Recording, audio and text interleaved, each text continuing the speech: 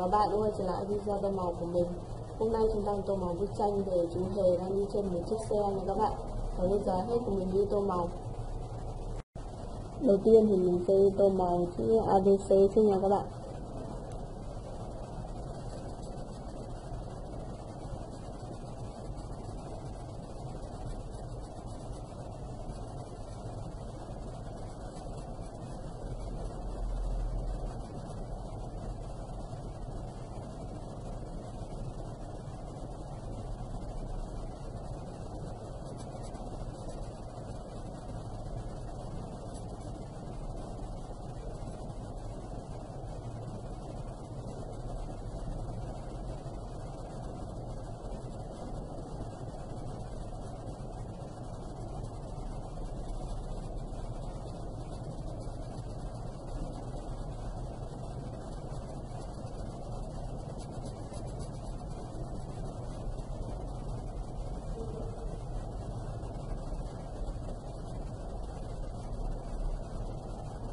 Tiếp theo thì mình sẽ tô màu những quả bóng bay.